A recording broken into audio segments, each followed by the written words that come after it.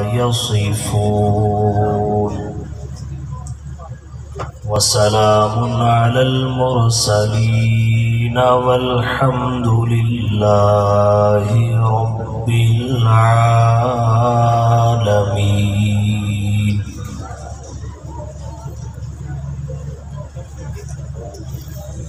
انتہائی واجب الاحترام. قابل صد تکریم و تعظیم۔ معزز علماء کرام، سامعین عظام، دوسری مرتبہ لاہور شہر کی اس عظیم الشان ختم نبوت کانفرنس میں برادر عزیز پیکر اخلاص۔ حضرت مولانا عبد الرحمن صاحب مدز اللہ العالی اور جمعیت علماء اسلام کے دیگر ذمہ داران کی دعوت پر آپ سے محو گفتگو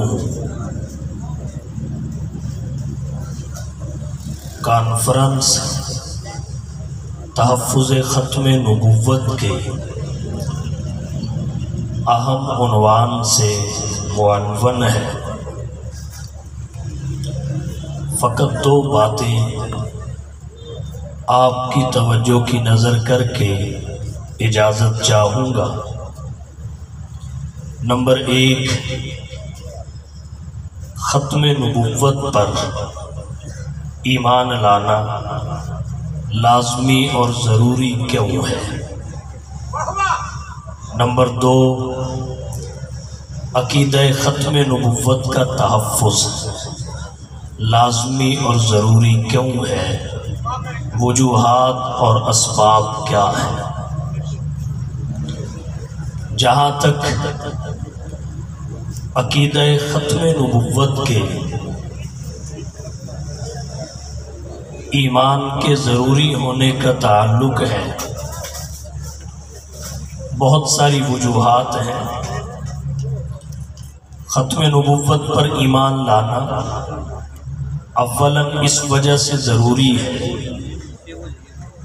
عقیدہ ختم نبوت پر ایمان لائے بغیر کوئی بھی شخص اپنا ایمان اور اسلام ثابت نہیں کر سکتا۔ شخصی طور پر کسی بھی شخص کے مومن ہونے کے لیے حضور صلی اللہ علیہ وسلم کی ختم نبوت پر ایمان لانا لازمی اور ضروری ہے۔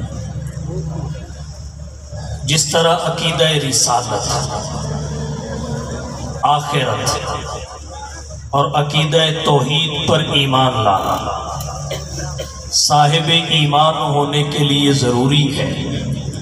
بیائی ہی حضور کی ختم نبوت پر ایمان لانا بھی صاحب ایمان ہونے کے لیے لازمی اور ضروری ہے۔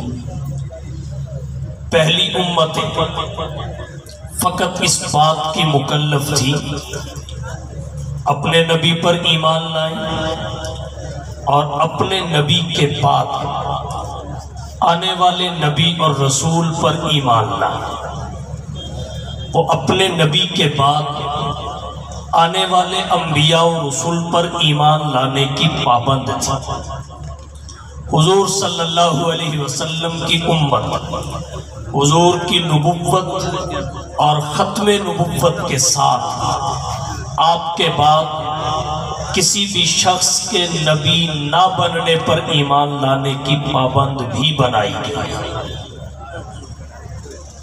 جس طرح کوئی شخص اللہ کی ذات پر ایمان لائے، صفات پر بھی ایمان لائے، فقط ذات و صفات پر ایمان لانے کی وجہ سے، اسے صاحب ایمان قرار نہیں دیا جا سکتا۔ جب تک ذات و صفات میں وحدت پر ایمان نہ لے آئے بیائی نہیں کوئی شخص حضور کی نبوت و رسالت کو مانے، حتیٰ کہ افضلیت کو بھی تسلیم کرے۔ مگر ختم نبوت کو قبول نہ کرے، یہ شخص کی دامن اسلام میں نہیں آ سکتا۔ سب سے پہلی وجہ، ختم نبوت پر ایمان لانے کی، ضروری ہونے کی یہ ہے، جب تک ایمان نہیں ہوگا، کسی بھی شخص کا شخصی طور پر ایمان ثابت نہیں ہو سکے۔ اور اس وجہ سے قرآن کریم کی درجنوں نصوص، حضور کی سینکڑوں احادیث اور امت کے اجماع کا انکار لازم آتا ہے اور ان تینوں کا انکار موجب کفر ہے۔ اس لیے حضور صلی اللہ علیہ وسلم کی ختم نبوت پر ایمان لانا لازمی اور ضروری ہے۔ دوسری وجہ کیا ہے؟ دین اسلام کی کاملیت کے اسباب اور اظہار کے حضور صلی اللہ علیہ وسلم کی ختم نبوت کو تسلیم کر دیا دل سے اس کی تصدیق کرنا لازمی اور ضروری ہے۔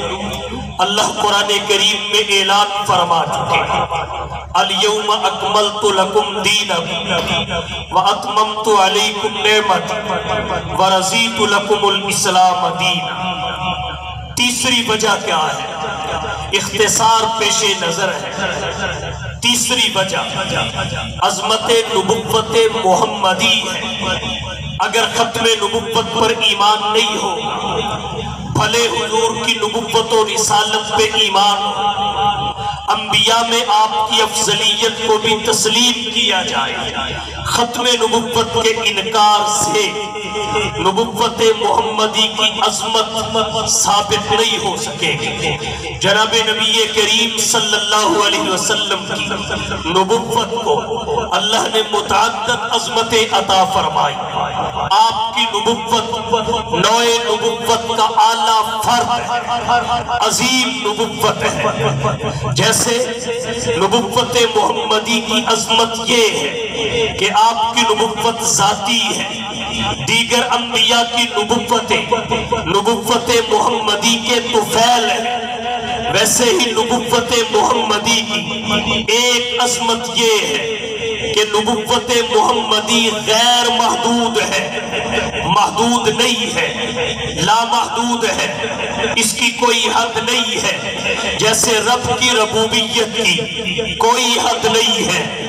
محمد مصطفیٰ صلی اللہ علیہ وسلم کی نبوت کی بھی کوئی حد نہیں ہے۔ وہ رب ہے، آپ شاہ عرب ہیں۔ وہ خدا ہے، آپ مصطفیٰ ہیں۔ وہ رب العالمین ہے۔ آپ رحمت للعالمین ہے اس کی ربوبیت ہے۔ آپ کی نبوت ہے۔ اس کی الوحیت ہے۔ آپ کی ختم نبوت ہے۔ جیسے اس کی ربوبیت کے لیے کوئی حد نہیں ہے۔ یہ ساری کائنات رب کی ربوبیت کے لیے اکائی ون یونٹ کی حیثیت رکھتی ہے۔ بالکل اسی طرح حضور کی نبوت کے لیے بھی اکائی ون یونٹ کی حیثیت رکھتی ہے۔ اللہ نے حضور کی نبوت کو تمام بخشا۔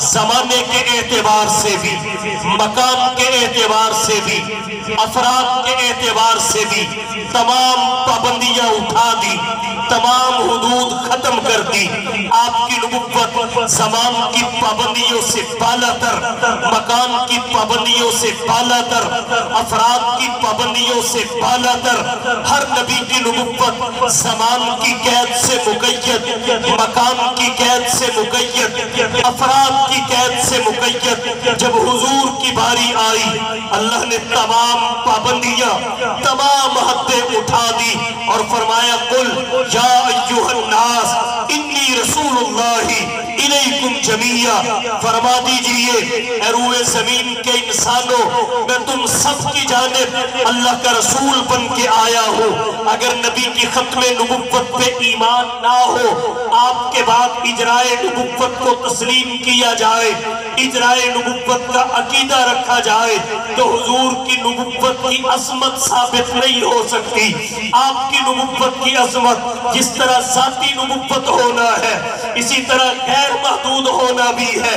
جب آپ کے بعد کوئی نبی پیدا ہو جائے یا آپ کے بعد کسی کا دعوی نبوت صحیح ہو جائے لامحالہ اس کی امت اور افراد جو شخص کہلائیں گے، وہ افراد کے اعتبار سے حضور کی نبوت کے دائرہ کو محدود کریں گے۔ جس علاقہ کے لیے اس کی نبوت ہوگی، علاقہ کے اعتبار سے نبی کی نبوت کی حد بندی کا سبب بنے گی۔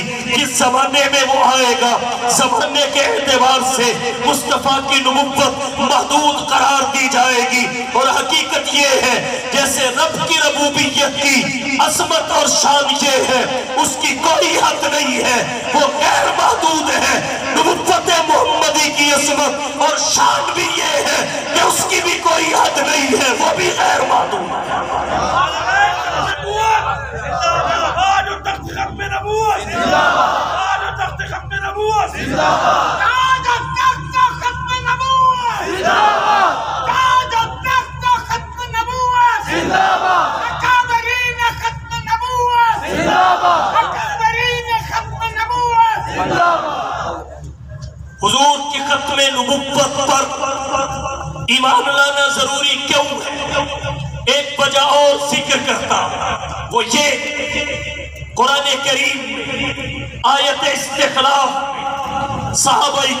میں سے، کچھ افراد سے اللہ نے خلافت کا وعدہ کیا، پھر اس وعدے خلافت کو پورا بھی کیا، وعدہ بھی اللہ نے کیا، پورا بھی اللہ نے کیا۔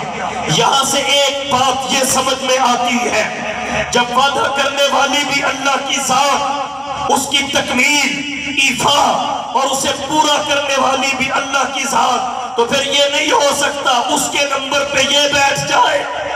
یا اس کے نمبر پہ وہ بیٹھ جائے، پھر اللہ نے جس کو جب خلافت دی، اس کی اسی وقت بنتی جس کو جب خلافت دی، اس کی اسی وقت بنتی تھی۔ تو عقیدہ ختم نبوت پر ایمان لانا اس لیے بھی ضروری ہے کہ حضور کے بعد جو اجرائے خلافت کا سلسلہ شروع ہوا خلفاء راشدین نے جو اجتہاد کیے، جو فیصلے کیے، انہیں سنت ہونے کی سند مل سکے۔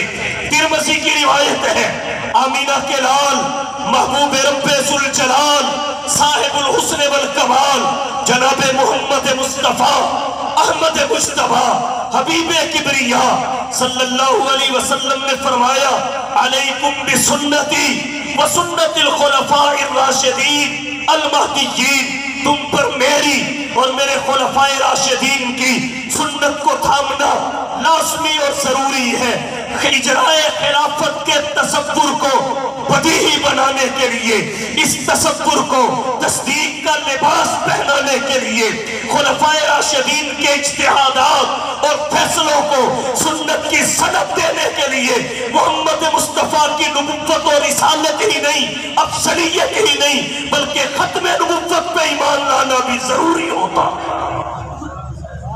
ختم نبوت محمدی۔ ایمان لانا ضروری کیوں ہے؟ اس کی ایک وجہ اور ذکر کرتا ہوں۔ وہ یہ اس امت کی فضیلت کی حفاظت کے اس امت کی فضیلت کے اس بات اور اظہار حضور کی ختم نبوت پر ایمان لانا ضروری ہے۔ حضور نے اپنے فضائل بیان کرتے ہوئے ایک فضیلت یہ بیان فرمائی، انا آخر الانبیاء۔ میں انبیاء میں آخری ہوں۔ پھر فرمایا وَأَنْتُمْ آخر الامم تم امتوں میں آخری ہو۔ اگر آخری ہونا امام الانبیاء کی فضیلت ہے، تو آخری ہونا اس امت کو خیر الامم بناتا ہے۔ اس امت کی فضیلت یہ ہے، یہ آخری امت ہے اور یہ آخری ہونا باعث فضیلت کیوں ہے؟ اس وجہ سے کہ اگر حضور کے بعد کسی کی نبوت کے تصور کو قبول کر لیا جائے، تو پھر یہ امت آخری نہیں رہتی۔ اس امت کے بعد امت ثابت ہو جاتی ہے۔ جب اس امت کے بعد امت ثابت ہو جائے، تو پھر اب تو یہ ہے، یہ امت تو پہلی امتوں کے عیوب پہ مطلع ہے۔ قوم لوت نے کیا کیا اس امت کو خبر ہے، حضرت حضرت حود علیہ السلام کی قوم نے کیا کیا؟ امت باخبر ہے، صالح کی قوم نے کیا کیا؟ امت باخبر ہے، انبیاء کی سرکش اقوام کس کس جرم میں مبتلا ہوئی؟ اس امت کو خبر ہے، لیکن قوم سمود کو نہیں پتا۔ اس امت کے احوال کیا ہے قوم آگ کو نہیں پتا۔ اس امت کے جرائم کیا ہے دیگر انبیاء کی امتوں کو خبر نہیں ہے کہ یہ بھی نام تول میں کمی کر رہے ہیں۔ یہ بھی سیلاب صدقان کے نام پہ کیے ہوئے فنڈ کو اپنے ساتھ استعمال میں لانے لگ گئے ہیں۔ لاڑکانہ میں اسے بھی فروخت کرنے پہ اتر آئے ہیں۔ یہ ان کو نہیں پتا کہ بالاکوٹ کے سلسلے کے کمبل یہاں کے لنڈا بازاروں میں بکتے رہے ہیں۔ ہمارے عید پہ تمام انبیاء کی امتیں مطلع نہیں ہے لیکن یہ امت تمام انبیاء کی امتوں کے عیوب پہ مطلع ہے۔ اگر حضور کی نبوت پہ ایمان نہ لایا جائے، حضور کی ختم نبوت کو تسلیم نہ کیا جائے، آپ کو آخری نبی نہ مانا جائے۔ آپ کی وحی کو آخری وحی نہ مانا جائے۔ آپ کی کتاب کو آخری کتاب نہ مانا جائے۔ آپ کی امت کو آخری امت نہ مانا جائے۔ اس امت کے بعد امت ثابت ہوگی۔ پھر اس امت کے عیوب پہ کوئی اور امت مطلع ہوگی۔ پہلی امتوں کا برسخ قلیل ہے۔ اس کا کثیر ہے۔ اس کے بعد کوئی امت آ جائے تو اس امت کا برسخ بھی طویل ہوگا۔ اور کہتا ہوں، کسی نبی کی امت کو دعوت و تبلیغ کا فریضہ نہیں سپرد کیا گیا۔ اس امت کو سونپ دیا گیا۔ اس امت کے علماء کو انبیاء کا وارث اور نائب قرار دیا گیا۔ یہ اس امت کی فضیلت ہے اور یہ ساری ختم نبوت سے بندی ہوئی ہے نعرہ تکبیر تاجدار ختم نبوت قابلین ختم نبوت. حضرت مولانا شاہ نواز فاروقی صاحب اور بہت ساری وجوہات ہیں۔ اختصار پیش نظر ہے۔ کیونکہ آخری خطیب کو مجمع بھی ایسا اور اتنا ہی ملتا ہے۔ ایسا اور اتنا۔ گلے آ بھی جاتا تھی کہڑا گل دے دینا توجہ کیجیے۔ توجہ کیجیے۔ اب دوسری بات کی طرف آتا دوسری بات کی طرف۔ عقیدہ ختم نبوت کا تحفظ کیوں ضروری ہے ایمان لانا بھی ضروری ایمان لانے کے بعد اس کا تحفظ بھی ضروری ہے۔ اس کی بھی بہت ساری وجوہات ہیں۔ فقط تین اختصار کے پیش نظر ہے تین آپ کی توجہ کی نظر کرتا ہوں۔ پہلی وجہ۔ قرآن و حدیث اور سیرت نبوی کی حفاظت۔ قرآن و حدیث اور سیرت نبوی کی حفاظت۔ قرآن کریم کی حفاظت نبی کی ختم نبوت کے صدقے۔ احادیث مصطفیٰ کی حفاظت۔ وہ حدیث قولی ہو تب فیلی ہو تب، تقریری ہو تب۔ سب کا تحفظ ختم نبوت کے تحفظ سے مربوط ہے۔ نبی کی سیرت کا تحفظ، نبی کے کردار کا تحفظ ختم نبوت کے تحفظ سے بنا ہوا ہے۔ اور ان تینوں کا تحفظ ضروری ہے۔ اور ان کے تحفظ کا سبب ختم نبوت کا تحفظ ہے۔ اس لیے ختم نبوت کا تحفظ ضروری ہے۔ کتابیں پہلے مرسلین پہ بھی اتری۔ اقوال و افعال ان کے بھی تھے۔ مگر کسی نبی اور رسول پر اترنے والی وہی محفوظ نہیں۔ کسی نبی کے اقوال محفوظ نہیں۔ کسی نبی کی سیرت و کردار محفوظ نہیں۔ یہ سب چیزیں کیسے محفوظ ہوں؟ کم و بیش سوالات انبیاء آئے۔ ان سب کے اسماء بھی محفوظ نہیں۔ نام بھی محفوظ نہیں. اگر حضرت عزیر علیہ السلام کی نبوت اور رسالت کے قول کو تسلیم کرتے ہوئے انہیں نبی مانا جائے، تو پھر قرآن میں چھبیس انبیاء کے اسماء آتے ہیں۔ اور اگر دوسرے قول کے مطابق انہیں نبی نہ مانا جائے، پھر پچیس کے نام آتے ہیں۔ دو درجن کے لگ بھگ انبیاء کے اسماء قرآن کریم میں آئے۔ تو اس ساری کائنات کے لوگ انہی پچیس یا چھبیس اسماء اور انبیاء کو جانتے ہیں۔ اس کے علاوہ مطلقاً انبیاء پہ ایمان لایا جاتا ہے۔ اجمالاً ایمان لایا جاتا ہے۔ دیگر کے اسماء کا بھی علم نہیں ہے، آلام کا بھی علم نہیں ہے، ناموں کا بھی علم نہیں ہے۔ تو جب تمام انبیاء اللہ کے نام محفوظ نہیں ہے تو رسولوں پہ اترنے والی وحی کی تفسیرات، ان کے اقوال و افعال سیرت و کردار اور حالات کہاں سے محفوظ ہوں گے؟ لیکن ختم نبوت کی برکت سے حضور پہ جو وحی اتری، وہ الحمد سے لے کے بناس تک مکمل محفوظ ہے۔ اللہ کے نبی کی حدیث مکمل محفوظ ہے۔ خواہ وہ حدیث گولی ہو تو محفوظ ہے، پھیلی ہو تو محفوظ ہے، تقریری ہو محفوظ ہے رہی نبی کی سیرت و کردار احوال و حالات، وہ بھی اس حد تک محفوظ۔ انسان سیرت کی کتابوں کی برک گردانی کرے، ششتر رہ جائے کہ بچپن کتابوں میں محفوظ، جوانی کتابوں میں محفوظ، بڑھاپا کتابوں میں محفوظ۔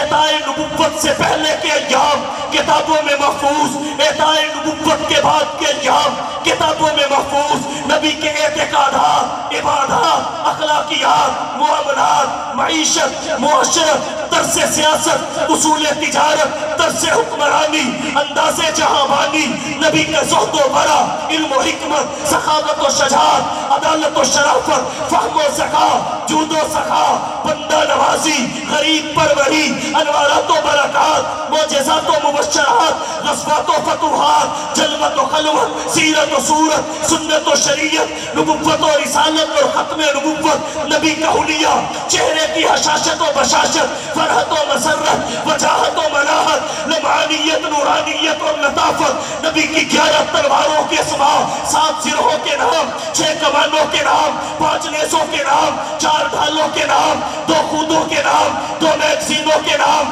تین اونٹنیوں کے نام، سات گھوڑوں کے نام۔ نبی کے اکیس سفید بالوں کی تعداد، پوری زندگی کے معقولات اور کھائے ہوئے کا وزن، چار من بیس سے کتابوں میں محفوظ، الغرض، دھرتی کائنات پر واحد ہستی، حضور سرور کونین ساکی کوسر شافی محشر حادی و رہبر، آمینہ کرال محبوب رب ذوالجلال، صاحب الحسن والکمال، جناب محمد مصطفیٰ، احمد مجتبہ حبیب کبریہ فخر الانبیاء، سید الورا، شمس الزہا، بدر الدجا، رہبر و رہنما، لا يمکن السنا مقیم گنبد خزرہ بلغ الاولا کشف الدجا، راحت العشقین شفیع المسلمین رحمت للعالمین کی ہے۔ ولادت سے لے کے اعطائے نبوت تک اعطائے نبوت سے لے کر ہجرت نصرت تک ہجرت نصرت سے لے کے آقا کی وفات اور رحلت تک جس کی ایک ایک ادا اللہ نے ہمیشہ ہمیشہ کے لیے محفوظ کرا دی ختم نبوت اس کا تحفظ اس لیے ضروری ہے کہ ان چیزوں کا تحفظ اس سے بنا ہے کیوں ضروری ہے؟ دوسری وجہ۔ اسلام کی عالمگیریت مقبولیت اور آفاقی حیثیت کو برقرار رکھنے کے حضور صلی اللہ علیہ وسلم کی ختم نبوت کا تحفظ ضروری ہے۔ تفصیلات میں نہیں جاتا۔ تیسری وجہ۔ امت کی وحدت کے لیے نبی کی ختم نبوت کا تحفظ ضروری ہے، وحدت امت کے لیے۔ آپ کہیں گے کیسے؟ نبی کا امتی اپنے آپ کو مسلمان کہلانے والا، وہ کسی علاقے کا باشندہ ہو، کسی رنگ اور نسل سے تعلق رکھتا ہو، کسی قوم اور زبان سے تعلق رکھتا ہو، اس کے باوجود تمام نبی پر ایمان لانے والوں میں، ختم نبوت کو تسلیم کرنے والوں میں یکسانیت نظر آئے گی۔ عقائد کے اعتبار سے بھی اعمال کے اعتبار سے بھی، فرائض و واجبات کی تعداد کے اعتبار سے بھی، ان کے اوقات کے اعتبار سے بھی یکسانیت نظر آئے گی۔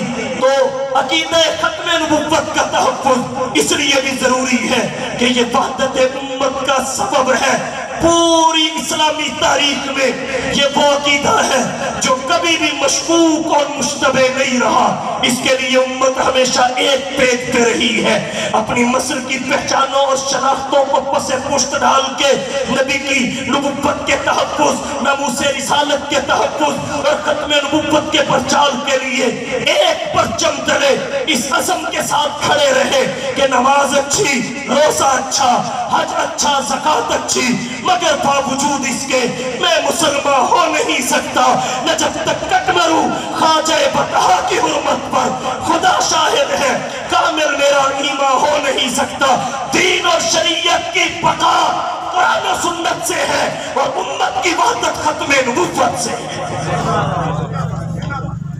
اس لیے توجہ اس لیے حضور کی ختم نبوت کے تحفظ کے تقاضوں میں سے ایک تقاضا یہ ہے کہ ختم نبوت کے تحفظ کے لیے اور ختم نبوت کے جو منکرین اور غدار ہیں، ان کے تعاقب کے لیے پاکستان کے آئین میں جو شکے اور انیس سو چوراسی کا ضیاء الحق دور کا، جو امتناع قادیانیت آردیننس ہے اس کو عملی طور پر مکمل نافذ کیا جائے۔ ان کے نفاذ کو یقینی بنایا جائے کہ قادیانی اپنے سربراہ کو امیر المومنین نہیں کہہ سکتے، اس کی بیوی کو ام المومنین نہیں کہہ سکتے، اس کے کسی ماننے والے کو رضی اللہ نہیں کہہ سکتے، اپنے عبادت خانے کو مسجد کا نام نہیں دے سکتے، اس پہ مینار کھڑے نہیں کر سکتے، اپنے آپ کو مسلمان نہیں کہہ سکتے اور کلمے کا استعمال نہیں کر سکتے اسلامی شاعر میں سے، اصطلاحات میں سے۔ کسی کو بھی اپنے لیے استعمال نہیں کر سکتے۔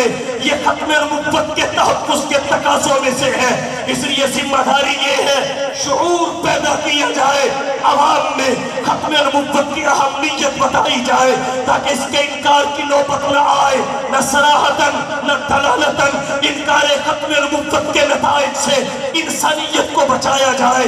میں خراج تحسین پیش کرتا ہوں، جمعیت علماء اسلام کو اور اس کے ذمہ داران کو، جنہوں نے ختم نبوت کے تحفظ کے لیے ان حالات میں اتنی بڑی صحیح اور جد و جہد کی ہے۔ اور اس سے بڑھ کے، اس وقت اس سے بھی بڑھ کے خراج تحسین پیش کرنا چاہوں گا جمعیت علماء اسلام اور خاص طور پر انصار الاسلام کے رضاکاروں کو جو بغیر کسی لالچ کے فقط اللہ کی رضا کے لیے انسانیت کی ہمدردی کے جذبہ کے تحت آج اپنے کپڑوں کو گیلے اور گندے کر کے سیراب صدقان سیراب سے متاثرین کی خدمت کے لیے میدان عمل میں ہے۔ آج تک لبرل طبقہ، آج تک تجدد پسند طبقہ آج تک عصری تعلیم زدہ طبقہ علماء پہ تنقید کرتا رہا کہ یہ مولوی یہ مولوی یہ قومی دھارے میں نہیں ہے، یہ اس معاشرے کا حصہ نہیں ہے، یہ ملک کی ترقی کی راہ میں رکاوٹ نہیں ہے۔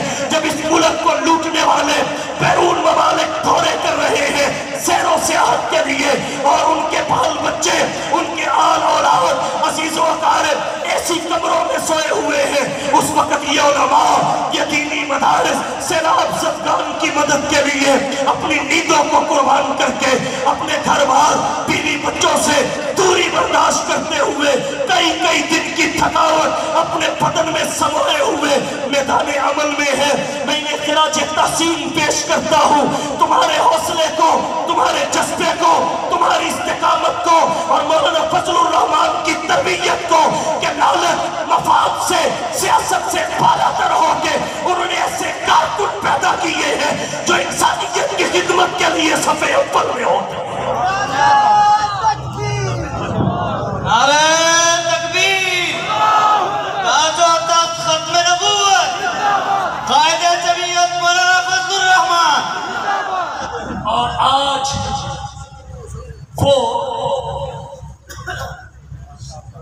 تھوڑے ٹائم میں زیادہ آم کھانے پر، تھوڑے ٹائم میں زیادہ عام کھانے والے ڈیڑھ ڈیڑھ لاکھ کا one two five motorcycle دینے والے۔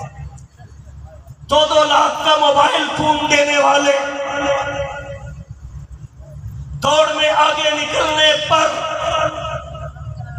خواتین کو ناچنے، کھانے پر کئی کئی تولے سونا دینے والے۔ پانچ کلو کا شاپر لے کر بھی تمسا شریف میں نظر نہیں آئے۔ دیر اور کوہستان میں نظر نہیں آئے۔ کہاں گئی وہ این جی او جو انسانی ہمدردی کا نعرہ لگاتی ہے آج سے آپ نے بتا دیا، انسانیت کی جو قدر، انسانیت کے ساتھ جو ہمدردی انسانیت کے ساتھ جو پیار علماء، اہل مدارس اور طلباء میں ہے، وہ کسی میں نہیں ہے۔ کسی میں نہیں ہے۔ اور ایک بات آپ سے بھی عرض کروں، ہر برے حالات کو عذاب الہی کا نام دینا بھی چھوڑ دو۔ جب برے حالات آتے ہیں، ان کی فقط واحد وجہ عذاب الہی نہیں ہوتا۔ عذاب الہی بھی برے حالات ہو سکتے ہیں۔ قوم آگ سمود پر آئے۔ آزمائش اور امتحان بھی ہو سکتے ہیں۔ وَلَنَبْلُوَنَّكُمْ بِشَيْءٍ مِّنَ الْخَوْفِ وَالْجُوعِ وَنَقْصٍ مِّنَ الْأَمْوَالِ وَالْأَنفُسِ وَالثَّمَرَاتِ وَبَشِّرِ الصَّابِرِينَ۔ حضرت ابو بکر صدیق کے زمانے خلافت میں کہا آیا ابتلا اٹھارہ ہجری میں خلافت فاروقی میں شام کے کریا مواز تعاون کی وبا پھیلی اور اس کی زد میں آ کے پچیس ہزار صحابہ کرام اس دنیا سے رخصت اردن ایک قبرستان میں میرا جانا ہوا۔ وہاں ہزاروں صحابہ کرام مدفون ہیں اور وہ تعاون امواس کے شہداء یہ امتحان بلندی دراجات کے لیے اسے عذاب نہیں کہا جائے اور تیسرا سبب حالات کے بارے یہ ہے۔ بعض دفعہ ذمہ داران اپنی ذمہ داریوں میں کوتاہی کر حالات کوتاہی کا نتیجہ۔ پچہتر سال گزر گئے پاکستان کو بنے ہوئے۔ کون صدی جی گزر گئی پچہترواں جشن آزادی، چودہ اگست کو ہم نے منایا۔ ہر سال بارشیں بھی ہوتی ہیں، سیلاب بھی آتے ہیں۔ اور یہ بھی پتا ہے کہ انڈیا ہمارا دشمن ہے۔ اس کے ساتھ ہماری تہذیبی جنگ ہے، جغرافیائی جنگ ہے، اعتقادی اور فکری جنگ ہے۔ وہ پانی چھوڑتا ہے۔ ہمیں پتا ہے، اس سے ہماری کوئی شہر نہیں ملتی۔ وہ گائے کا پیشاب پیتا ہے، ہم گائے کا گوشت کھاتے ہیں۔ وہ پیشاب پیتا ہے، ہم دودھ پیتے ہیں۔ وہ پیشاب کو متبرک سمجھتا ہے۔ ہمارے کپڑے پہ بھی لگ جائے تو دھونا پڑتا پتا ہے، وہ آبی دہشت گردی کرتا پھر کم از کم چلو، ٹیم تو بڑے مہنگے ہیں۔ اول تو بن جانے چاہیے تھے۔ لیکن کم از کم بند تو مضبوط ہو جاتے۔ بند تو مضبوط ہو جاتے۔ اگر پچہتر سالوں میں بند مضبوط نہیں ہو سکے، تو پھر ہمیں اپنی ذمہ داریوں کا احساس بھی پیدا کرنا چاہیے کہ کہیں ایسا تو نہیں، وطن تو آزاد ہو چکا ہے۔ وطن تو آزاد ہو چکا ہے۔ دماغ و دل ہے غلام اب بھی۔ پیے ہوئے ہیں، شراب غفلت، یہاں پہ خواص و عام اب بھی غلط ہے تیرا یہ نعرہ ساکی، بدل چکا ہے نظام محفل، وہی شکستہ سی بوتلیں ہیں، وہی شکستہ سے جام اب بھی اور میرے میخانہ وطن کا وہی ہے کوہنا نظام اب بھی کسی پہ جام شراب جائے، کسی پہ پانی حرام۔ میں سلام پیش کرتا ہوں۔ ملکی سلامتی کے اداروں، سلام پیش کرتا ہوں، اپنی پاک فوج جو ہر مصیبت کی کھڑی اس غریب عوام کے ساتھ کھڑی ہوتی ہے۔ سیاستدان نظر نہیں آئے۔ فوج کھڑی ہے، ادارے کھڑے ہیں، مدارس کھڑے ہیں، علماء، طلباء کھڑے ہیں۔ تو میں آپ سے یہ درخواست کروں گا، یہ مشکل کھڑی ہے، یہ قومی سانحہ، اس میں آپ بخل کا مظاہرہ نہ کریں۔ بڑھ چڑھ کے سیلاب زدگان کی ہمدردی کے جذبہ کے تحت، انسانی ہمدردی کے جذبے کے تحت، اپنی سیاسی شناخت پسے اختلال کے دوست دشمن سیاسی اعتبار سے فریق، حریق، سب کے لیے نکلے اور اس ملک کو سوارے اور اس ملک کی تقدیر بدلنے کے لیے اپنا کردار ادا کرے یا ایک بات اور عرض کروں گا۔ آپ اپنا تعاون بھی قابل اعتماد ادارے کے سپرد کریں۔ اب ہر شخص نے یہاں کیمپ لگا لیے۔ ہر شخص میدان میں آ گیا۔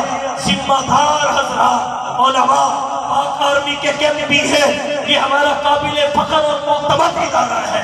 مدارس ہمارے قابل فخر اور معتبر ادارے ہیں۔ حضرت مفتی تک کی عثمانی دامت برکاتہم العالیہ نے ایک سو مکان بنانے کا اعلان کیا ہے۔ ان کے ساتھ آگے بڑھئے تاکہ ایک ہزار مکان بنانے میں وہ کامیاب ہو سکے۔ مولانا دلان کاکا خیر صف اول میں کھڑے ہیں۔ انسار الاسلام صف اول میں کھڑی ہے۔ ہماری پاک پور صف اول میں کھڑی ہے۔ بیت السلام ویلفیئر ٹرسٹ صف اول میں کھڑا ہے۔ نکلیے، ان کے دستوں پاسو بنیے۔ اور اس مصیبت کی گھڑی میں، انسانیت کی کی ترقی کا جذبہ لے کے، اس ملک کی خیر خواہی، ترقی کا جذبہ لے کے میدان میں آئیے۔ یہ ہم سب کی دینی قومی، ملکی اور ملی ذمہ داری ہے۔ اللہ تعالیٰ ہمارے وطن کو اور ہمارے وطن کے رہنے والوں کو ہر بری نظر سے بچائے۔ وآخر دعوانا الحمدللہ۔